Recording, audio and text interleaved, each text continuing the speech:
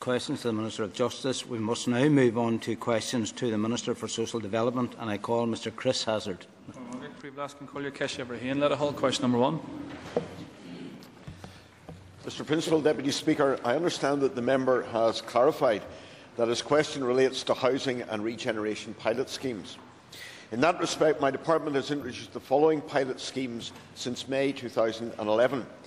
The boiler replacement scheme, which is finished, the affordable warmth phases 1 and 2, phase 1 finished, phase 2 ongoing.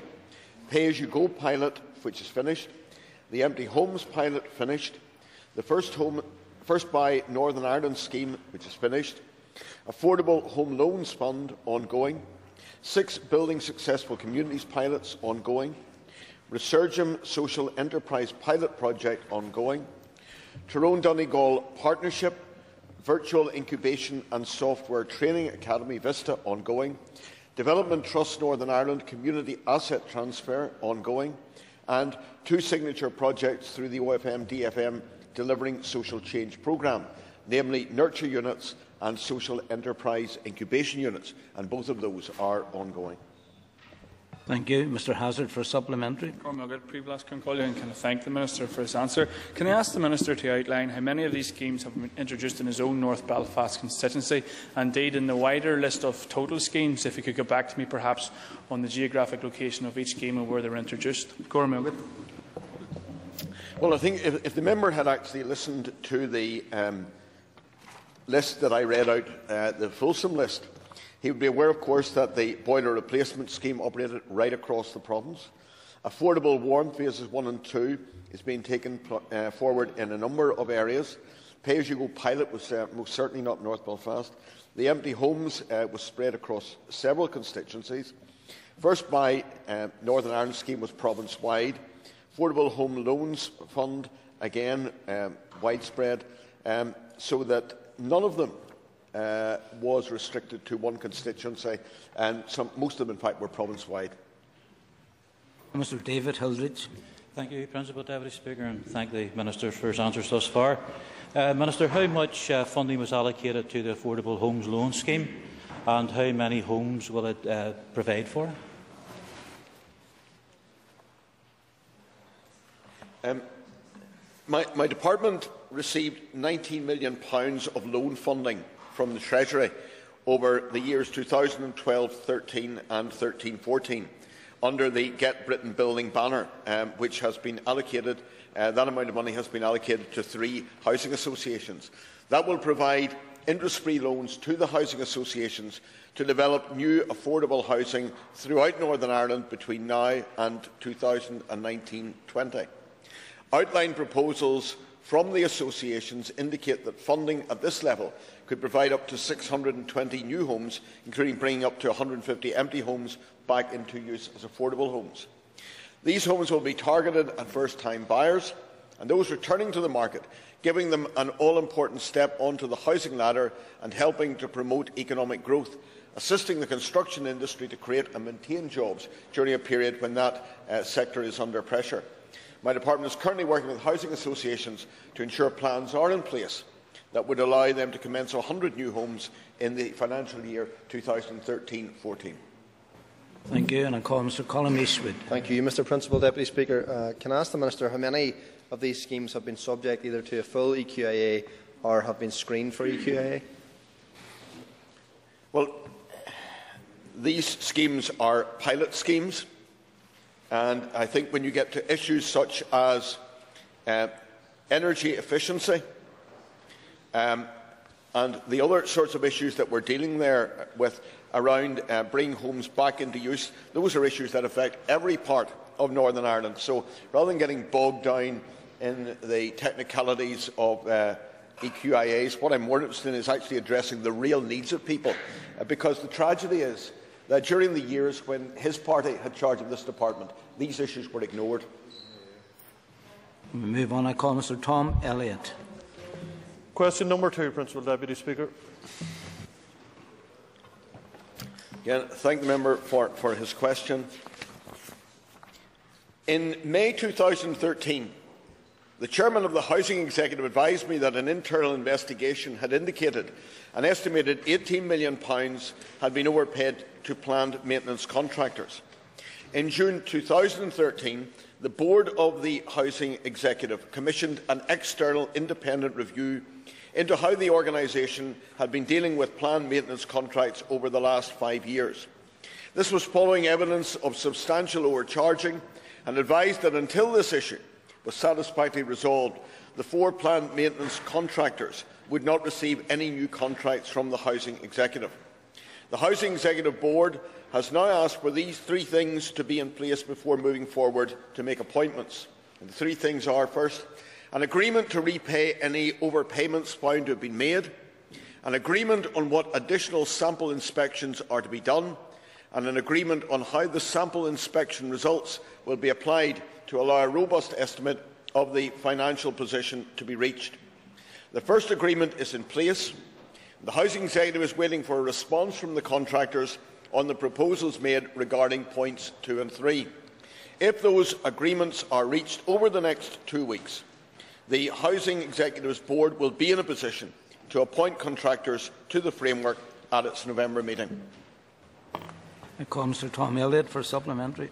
Uh, thank you, Principal Deputy Speaker. Can the Minister uh, tell us or inform the House uh, how much those overpayments have come to that have been paid back? Um, I would ask the member to show a, a little patience in that regard because um, there is a figure in the report that has been produced by um, this firm uh, of consultants, Campbell Tickell. Um, that report was commissioned, as I've said, by the Housing Executive, and therefore uh, the figures will be known to the uh, Chair of the Housing Executive and to the Board. The information will be given then to the Social Development uh, Committee on Thursday when they receive copies of that. And I think it would be uh, probably premature for me to quote the figure today because that information will be disclosed. There's an embargo on those reports until Thursday, and therefore I would prefer not to, to, to breach that. But I think it is true to say, and there can be no doubt about it, um, it is not a good report. It doesn't make good reading. It's a good report in itself, but it's about a very dire subject. It does not make good reading and there is a very uh, substantial, very substantial overpayment figure mentioned in that. Thank you. And I call Mr Ian McCrea. Thank you, Principal Deputy Speaker. Can the Minister explain to the House how any contractors who are alleged by the Housing Executive to have received over overpayments have been successful in securing new contracts with the Housing Executive? Um, again, uh, Mr Principal Deputy Speaker, thank the member for, for the question. There is a, a, a, balancing exercise here to be carried out by the Executive in terms of making sure that uh, they do all that they can to protect the public purse uh, whilst at the same time ensuring uh, the good, good service to tenants. And there, there is a difficulty there.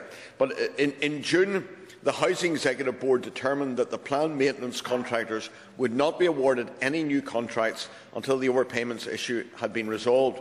Since that time, the Housing Executive has held a series of meetings with the contractors, and one uh, outcome of the meetings is that the contractors have agreed, that's important, to repay any overpayments.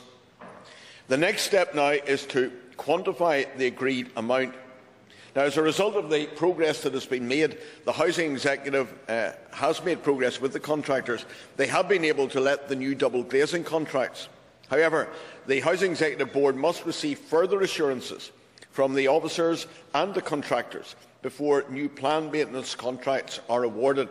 And as I indicated, I would be hoping that this will be dealt with, certainly will be discussed at the Housing Executives Board uh, meeting later this month, at the end of November.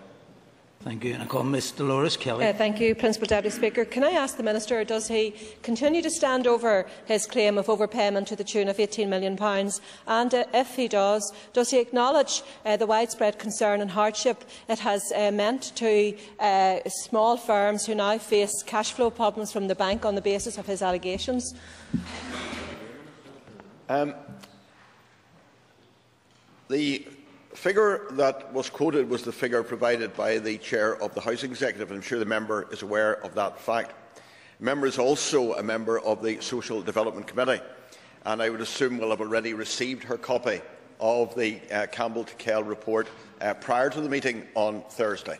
Um, if she hasn't, she will be receiving it in the next uh, day or so uh, because there will be an opportunity, I'm sure, for members to look at it before the meeting. It will be embargoed until Thursday. Uh, and on Thursday, the figure as currently estimated by Campbell Tickell um, will be disclosed. Uh, I have already said, and the member will be aware, I've made the point already to answer a previous question, that it does not make good reading as a report.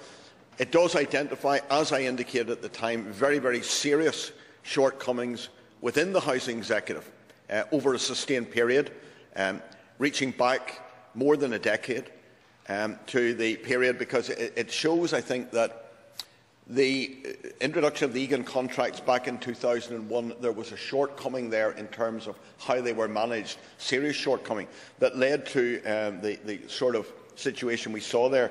And um, the, the, figure, the figure is currently estimated by Campbell Tickell will be disclosed on Thursday. As I've said already, it does not make good reading because it shows quite clearly that a very substantial amount of overpayment was made. Uh, and as far as I'm concerned, it wouldn't matter whether it was 5, 10, 15 or 20. Whatever it is, it's far too much. And I call Mr Robin Swann. Question number three, Mr Principal Deputy Speaker. Again, thank the member for, for the question. My, my, department currently provides funding to the Housing Executive to deliver a shared community programme. The objectives of this programme are to reduce uh, housing segregation, develop, support and sustain current shared communities, and increase community cohesion, bridging and participation. 30 existing housing executive estates with some 60,000 residents are supported through this programme, and a further 20 shared communities are being developed and supported. For new social housing developments, the Housing Executive identifies developments which are deemed suitable for shared designation and then works with the relevant housing association to promote and develop the scheme, subject to residents' agreement as shared housing. To date, this approach has delivered 11 shared new build schemes. My department has also been tasked with taking forward proposals to create 10 new shared neighbourhood developments as set out by OFM DFM in the Together Building United Communities document. In taking this work forward, I have asked my officials, with examining the current Shared Communities programme, to identify what lessons can be learned from the good work done to date to develop greater levels of sharing within social housing, and we are considering the feasibility of up to 17 potential shared sites. We will also examine whether there is scope and indeed a need to encourage similar activity within private housing development.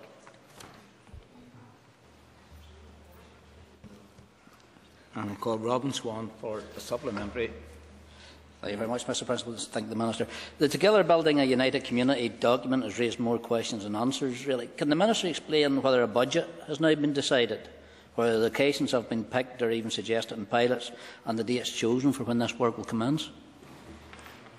Um, I think uh, I tried to make clear, perhaps I wasn't clear enough in regard to that, that this is very much still a work in progress. We're looking at 17 possible sites, um, but it will take some time to work through um, the exact details of those. And of course, this is not a question about money, because whether you build houses for what in effect turns out to be a segregated community, or whether you build the same number of houses and you try to push that as a shared uh, community, um, the cost of house building isn't going to be very much different. So it's not a cost issue, it's an attitude issue, it's about how you approach it, and essentially at the core of this, it is about getting the, the uh, consent, the agreement, the, the, the commitment of the people who want to live in that shared community. Call Ms Paula Bradley. Thank you, Mr Principal Deputy Speaker, and can I thank the Minister for his answer. Um, can I ask the Minister, is preferential status given at all um, to applicants who specifically want to live in a shared, housing area? Um, all social housing in Northern Ireland um, is allocated on the basis of need. Uh, that's the legal position, that's how it is, and this ensures that the allocation of housing is compliant with Northern Ireland's equality legislation. We cannot socially engineer mixed housing. It's simply impossible to do that. And that's why I've tasked the Housing Executive with working with the housing associations and local communities to support and encourage them to see the benefits of shared housing. Alban Maginness. Uh, uh, could I th uh, thank you, um, uh, uh, Deputy Speaker, um, and could I thank the Minister for his answers? In relation to the implementation of what I think is a very bold and good uh, approach in terms of integrated housing, how will the Minister guarantee that in fact he gets that mix of integrated uh, residents in a particular area? How is that going to be achieved, particularly given the criteria of need that the Minister has just outlined? Um, and the member will be aware that, as I said earlier, there are already um, 10 or so schemes, uh, sorry, to date 11 shared new schemes.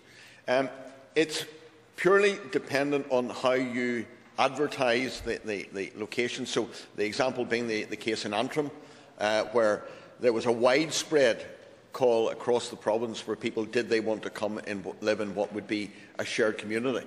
And people came from different areas to that. Um, that was their choice. Um, so that's really as far as you can go. You can encourage, but you cannot coerce. And that, that is the, the line that needs to be drawn and needs to be, needs to be recognised. We cannot give extra points.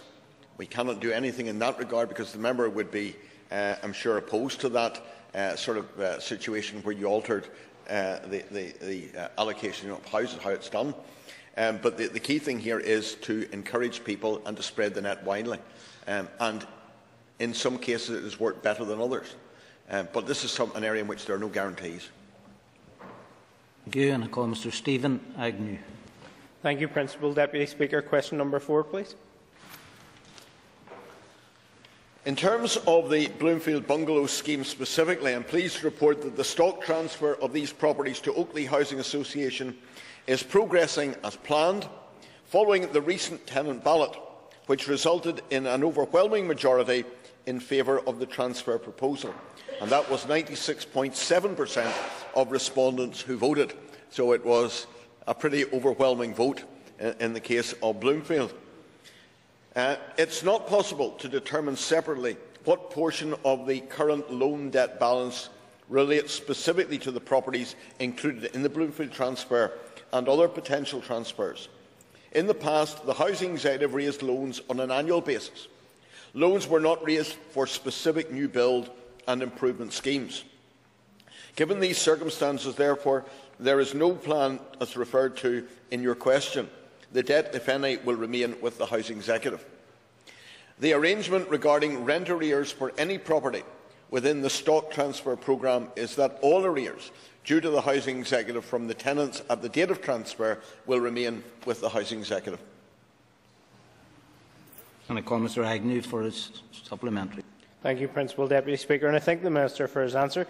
Could I ask then, um, the, regarding the wider proposal then for, for potential stock transfer and, and, and for the house, when the housing executive potentially stops being the landlord for these properties, how the historic debt will be managed, what way, and is that being considered a, a factor in terms of any business case for such a proposal? Well, we're very much at the start of the process, in the early stages of the process for the reconfiguring of uh, social housing uh, in Northern Ireland and for the, the role of the housing executive. Um, so therefore, uh, there's a series of work programmes being taken forward looking at different aspects and areas of work. Um, in the spring of next year, I would hope to have some idea of the th thinking that's emerging, but at this stage it would be premature of me to, to comment on that. Um, there are a lot of these issues that are complex, will need to be looked at, and I have no, uh, nothing really to add at this point in time. Uh, it will be a matter that will come forward in due course. Thank you. And I'll call Mr Gordon Dunne. Thank you, Mr Principal Deputy Speaker. Can I ask the Minister what are the benefits of transferring these housing executive properties to housing associations? I would also like to put on record our appreciation to the Minister for the time it has put into this project. It's long awaited, long overdue, and the senior citizens very much deserve it. Yeah.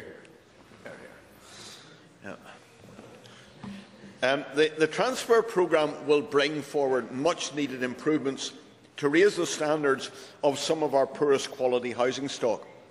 Overall, the standard of social housing in Northern Ireland is better than really, I suppose, anywhere else in the United Kingdom.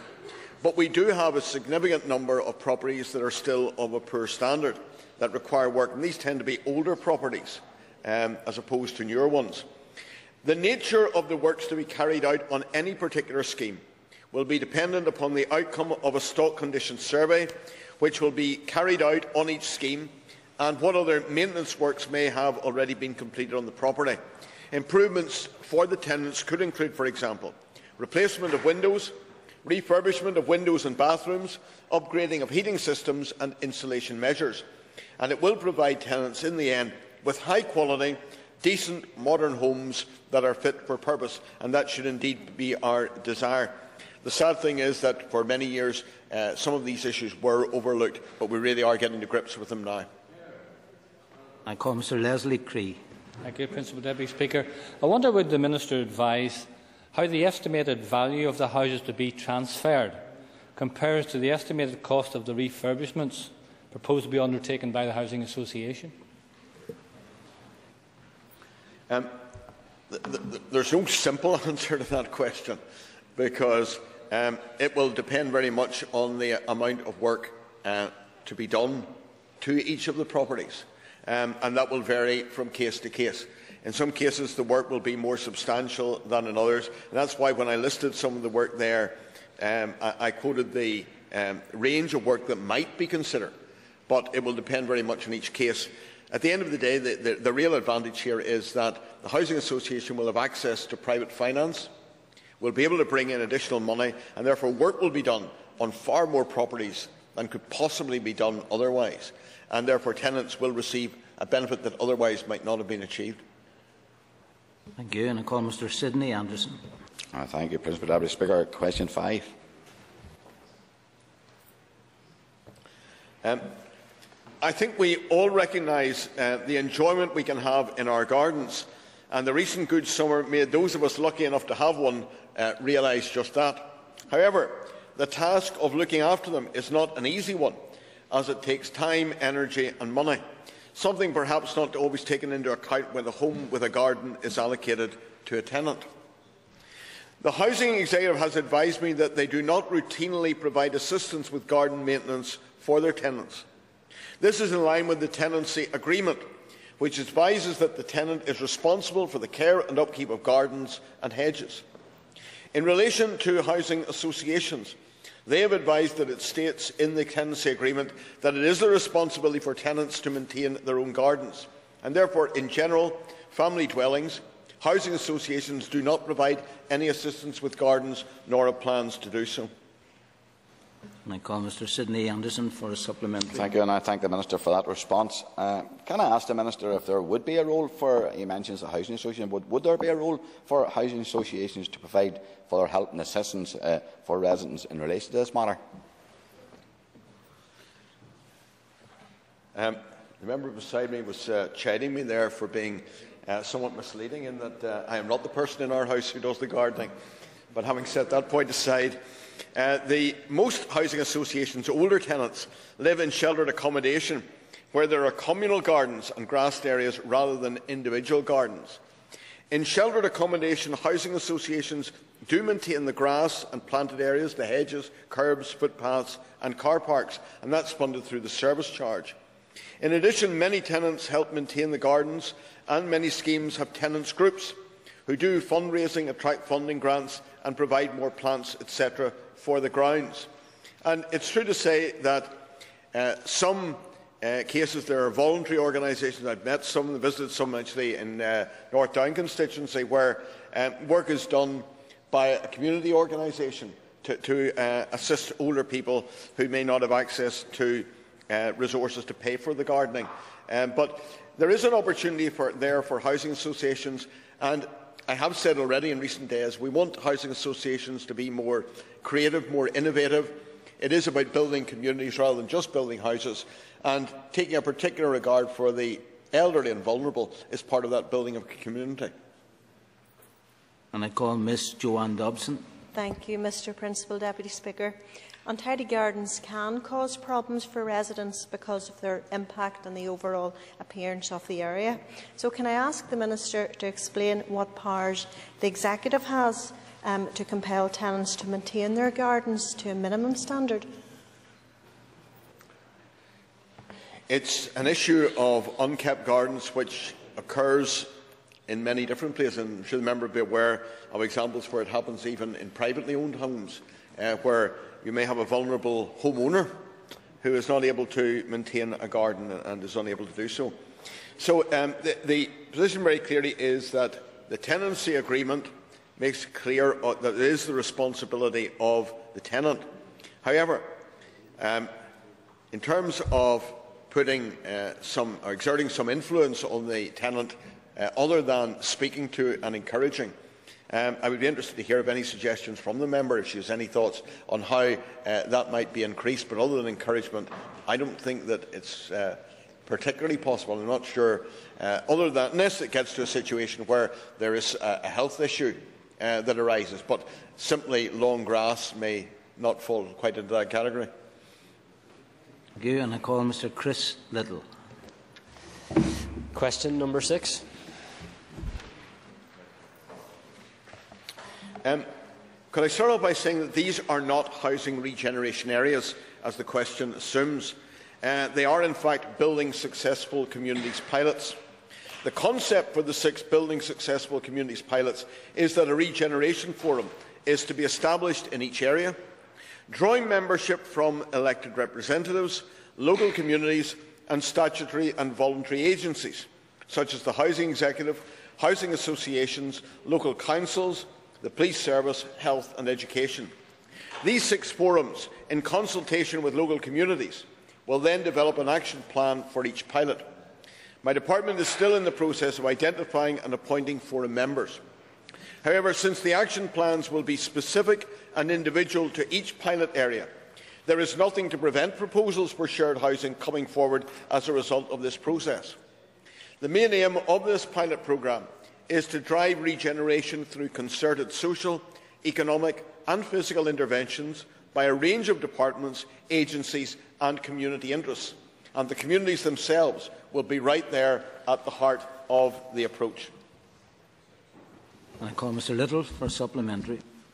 Thank the Minister for his answer. Would the Minister agree that central to economic regeneration is the promotion of integration? And can I ask him how these forums will uh, ensure that integration is promoted rather than segregation is maintained? Um, of course, uh, and I've already answered in a, in a, previous question, pointed out that um, through the um, Together Building uh, United Communities, we're, we're uh, taking forward a number of initiatives in that regard. But I would suggest to you that the areas in which those are more likely to succeed are probably not some of our most difficult inner city communities where there are significant area, levels of deprivation and so on. Um, six pilot areas have been selected. Um, we're taking that work forward. There are real challenges in there, and I think that the, um, we should not in any way seek to be prescriptive or coercive towards those local forums, that they should be given the freedom, the flexibility to see what can be done to address all of those issues. Um, that I mentioned. They're physical, social um, and environmental. They, they, are challenging communities, areas that, having benefited over a number of years from neighbourhood renewal, uh, or being areas at risk, but nearly all, I think, near, uh, neighbourhood renewal areas, still have serious problems that have not been resolved. And the challenge, I think, the focus has to be primarily and initially on, on, on addressing those issues. Peter Weir for a very quick supplement. I'll be very quick, Mr Deputy uh, Speaker. Can I ask the Minister then what support there is for a housing-led approach to regeneration? I suppose to answer that question, I would make two points. The first is that driving regeneration using housing is a key theme in the new housing strategy. And when that was brought forward for consultation, there was widespread uh, support for that approach. And subsequently, having announced uh, pilot areas for building successful communities, I received much positive feedback from those communities. So I think Uh, it's, it's a key thing in the housing strategy and has received widespread support and endorsement. Thank you. And uh, that brings an end to the period for oral questions, and we now move on to topical questions. And I call Ms Rosaleen McCorley. Uh, can I ask the Minister if he can explain the delay in setting up a task force to uh, address the issue of home repossessions, which have increased by 20% this year, according to Housing Rights Service? Um, the issue of uh, supporting people whose homes are in danger of being repossessed um, is one that has been very much in our mind, has been raised in this chamber on, on a number of occasions. Um, I believe that the support that we're giving at the moment through um, the Housing Rights Service and the additional support, uh, financial support that was given there to them to enable them to support people in those positions um, has been particularly important. And there's a clear difference between folk who effectively bury their heads in the sand and hope that a terrible situation will go away, and those who face up to it and take legal advice and get uh, practical advice from the Housing Rights Service. Um, the, clear difference there, people arriving in the court and about to lose their house, and then maybe an intervention at the last minute. The key thing is to get in touch with the Housing Rights Service at a very early stage. Um, we keep the situation constantly um, under review as to um, what additional measures might need to be taken. And that's something that certainly uh, we haven't uh, forgotten about or neglected in any way. But I would encourage people primarily to approach it through that particular method of the, using the, the services of the Housing Rights Service. Ms Rosaleen McCorley for a supplementary. I thank the Minister for his answer. Um, can I ask the Minister what alternatives uh, from other jurisdictions has he examined in order to seek a remedy to this issue? There are a, a number of options that were mentioned in the past where financial interventions were talked about. Um, but when you look at the scope of the problem and the extent of the, the, the financial difficulty of the individual and scale that up, um, it would be possible to help, in practical terms, a very small number of people. Whereas the, the problem, as the member well knows, is, is uh, affects several hundred, number of hundreds of people each year. Um, and therefore, whilst we've looked at other options elsewhere, the, the, the primary response has to be the one that we're adopting at the moment. But as I say, it is something we do keep under review. Thank you. And I call Mr Stewart Dickson. Thank you, um, Principal Deputy Speaker. Minister, given the evidence to the DSD inquiry on Thursday past uh, with regards to a letter of the 24th of May 2012 to the Chair of the Committee, did you mislead the Committee? Um, there's a process being taken forward by the Committee at the moment. Um, there were uh, a number of submissions made uh, last Thursday. There will be further submissions made this Thursday. I'm due, court, uh, due, to come in um, to uh, the committee later on in the month of uh, December. I think it's the 12th of December. And at that point, I will, in fact, be uh, giving a submission to the committee. I think it would be wrong and premature to address it until I had the courtesy of giving that to the committee. Principal Deputy Speaker, it's a very simple question to the Minister. Did he mislead the committee? I think we should note he hasn't answered the question. Why, Minister, did you give an instruction uh, to a civil servant to change the content of that letter? Um, I don't know if the member has difficulty understanding plain English, but uh, I simply said there, uh, in response to the first point, that I would uh, make the uh, information available to the committee on the 12th of December when I go to the committee, and I intend, in response to your second question, to give the answer to that in due course as well. Um, it's a very simple answer. It will be given on the 12th of December, and I would just ask the member to have a little bit of patience. I call Mr Sydney Anderson. Thank you, Principal Deputy Speaker. Uh, in light of comments by the new energy regulator today that high energy costs are, are here to stay, can I ask the Minister, can he assure me that all is being done uh, in his power to assist those who are most in need to heat their homes? Um, again, thank the member for, for, the question. The fact is that in Northern Ireland, according to the House Conditions Survey, um, the fuel poverty affects 42% That's about 295,000 households in Northern Ireland. Um, and as the member is aware, um, fuel poverty arises really from income level, fuel cost and energy efficiency. Um, we've had the statement uh, from the regulator uh, today in regard to the cost of energy in Northern Ireland and the fact that it is set to remain high into the foreseeable future. We can do something, I suppose, about income to a limited extent. My department uh, does run a very extensive um, benefit uptake programme, and that benefit uptake programme uh, will, uh, again this year, as it has done in previous years, uh, make a substantial difference to quite a number of vulnerable people who are on low incomes. But um, the other main area of work that we have is in terms of energy efficiency of homes. We have the Warm Homes Scheme, uh, the Boiler Replacement Scheme, and those really do make a difference. Um, the Affordable Warmth Pilot, again, that we're uh, taking forward. And then also, it's important to remember that those aged 60 and over are entitled to a winter fuel payment. So the um, work that we're doing in terms of delivering um, some financial support through benefit uptake and through the winter fuel payment and the energy efficiency are the two principal areas that we can work on. And I hope that um, we will see uh, a reduction in fuel poverty as we see our homes in Northern Ireland made more energy efficient. Mr Anderson for a supplementary. Uh, thank you. Um, can I thank the Minister for that response? The, the Minister will know that I recently raised the energy efficiency of homes with him, especially those that are single-wall dwellings. Can he provide me with an assurance that these types of dwellings will be made a priority in any forward work programme? Um, I've certainly been looking at this issue for some time now, um, since I became aware that there were uh, around 5,000 housing executive properties across Northern Ireland that were of no fines construction, um, most of them constructed from a single uh, skin of concrete uh, and no cavity. Um, there is some work being taken forward at the moment. We have a, a housing executive set up a working group to progress a strategic approach to look at the thermal performance of all housing executive no-fine stock.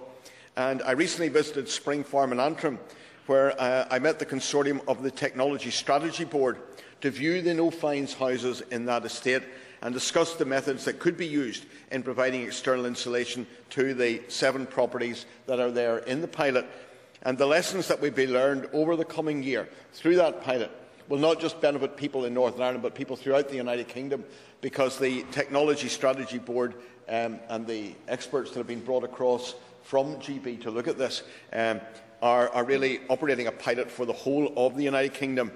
I might also add that um, early next month I'm proposing to uh, visit the Leonardo project in Germany to see for myself a successful retrofit scheme uh, that was carried out there.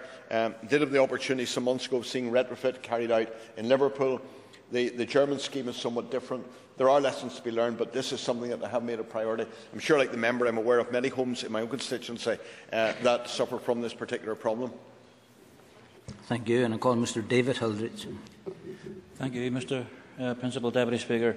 Uh, Minister, do you have any concerns uh, that delays to the welfare reform bill will place uh, the, his department's ability to administer and provide benefits to the most vulnerable at risk? The member makes a very important point here, and one that has been largely overlooked in general comment and in particular in the media. Because when we talk about welfare reform and delays, we tend to think in terms of the recent visit by Mike Penning and the point he made in terms of financial penalties that would impact on the Northern Ireland block grant. Uh, but there is more to it than that because potentially it can also have uh, an impact on the viability of a number of jobs that we have in Northern Ireland providing services to the rest of the United Kingdom um, in, in uh, the delivery of welfare. There's also this point that's been made there um, that, uh, as regards this, I'm really concerned, I have to say, that delays to the welfare bill are already resulting in operational difficulties due to the need to put in place clerical workarounds as the two benefit systems begin to diverge. So there are practical difficulties as well, and that's putting at risk the Social Security Agency's ability to administer and provide benefits. And the agency is already incurring additional costs. At the moment, modest, but they will very quickly rack up. I have also written to ministerial colleagues advising them of the operational impact resulting from the introduction in GB of the new mandatory reconsideration process, which went live in GB on the 20th of October. This meant that certain benefit decision notifications issued to claimants in Northern Ireland contain incorrect information on how to dispute their decision. So, in order to ensure that they get the correct information, an insert has had to be included with the notifications issued to Northern Ireland claimants and the agency has incurred additional costs of some £90,000 at this juncture over that single point. So it's important not just for the penalty issue to be kept in mind, and that's a hugely important one, as, uh, as uh, the um, DWP Minister pointed out, um, but there's also these practical difficulties that are detrimental to claimants in Northern Ireland. Thank you. I call Mr Hilditch for a supplementary. Thank you, and thank the Minister for his answer. Uh, but going back to the divergence, are we reliant on GBIT systems uh, to deliver benefits here in Northern Ireland? I must apologise to the member. I, I, got slightly distracted there. Uh, in one sense, a point that should have made there. Absolutely, we're totally dependent in Northern Ireland on the, the IT system throughout the rest of the United Kingdom. There is no possibility of Northern Ireland going it alone and devising its own IT system for um, welfare payments. Um, it would be uh, totally impossible. The cost would be astronomical, and it would be simply uh, totally destructive to the Northern Ireland Block Grant in terms of the cost of it. How we could do it, I could not imagine, and anybody who thinks we could would be very much mistaken. It is a system that spreads right across the UK, and we are part of it. Call Mr John Dallat. Uh, Mr Principal, uh, Deputy uh, Speaker, uh, the term eviction repossession is a very emotive term, reminiscent of Ireland a couple of hundred years ago. But unfortunately, between June and September, the number of people who have had their homes repossessed has increased by 20% over the same period last year. Will the Minister set up a task force to mitigate against the worst aspects of something that I thought we had left behind hundreds of years ago. Um, I'm not sure what the procedure is in the Assembly for being asked the same question that you've already dealt with. Uh, I would have thought if someone had already asked a question, the next person who had thought of asking it would ask a different question. But uh, the question was already asked there by uh, Ms McCorley earlier on, and I would refer the member to the answer which I gave to her no apology whatsoever to the Minister for asking a question which is very close. I'm not sure if the Minister has ever been at an eviction. It's not nice, but here's my supplementary. And the supplementary is the Housing Strategy Action Plan for 2012-2017 commits you, Minister, to creating a working group to mitigate against the effects of repossession on individuals and families. Will you now implement it, please? As I indicated, or I hope I indicated previously, it's an issue that we are constantly reviewing, constantly working on. And um, I said earlier, there are welcoming, I would welcome at any time ideas from any individuals as to how uh, we might do things more differently, how we might do them better. Uh, if the member has any proposals that he wants to bring forward, I will be more than happy to receive them and to listen to them. I call Ms Michelle McIlveen. Thank you, Mr President. Deputy Speaker. Could the Minister advise whether the bid for public realm funding for Newtownards has been successful? Um, I'm uh, pleased to uh, inform the member that, uh, yes, the answer is that there will be an announcement very shortly. The public realm scheme in uh, Newtownards, which was delayed in the past for various reasons, has now uh, been uh, brought forward. It's an extensive scheme, £5.5 million, will bring considerable benefit to Newtownards, uh, and I'm happy to confirm to him we'll be making an announcement very shortly. Ms McIlveen for a very quick supplementary. Thank you very much. I obviously welcome the Minister's announcement and also the recent news that Comber had also received £2.2 million or £2.4 million funding for public realm. Can the Minister agree that improvements such as public realm can be an economic catalyst for small towns? There, there's very clear evidence that public realm work as part of a wider package of measures in a town centre can make a real difference to the town centre. Um, revitalisation schemes uh, for the shops nearby uh, can often add to that. And generally, a public realm scheme emerges out of uh, a master plan for the town centre, which is a great opportunity for all those, whether it be the local authority, the local traders and business people, and uh, my own officials, to work together to see what is the best way forward for that particular town centre. Um, challenging time for town centres, very challenging indeed. Um, there were recent figures quoted uh, in terms of empty properties and we need to boost the town centres to make them more attractive, greater footfall, more people in them, more people shopping, and therefore greater viability for, for the traders. Thank you, Minister. And that brings us to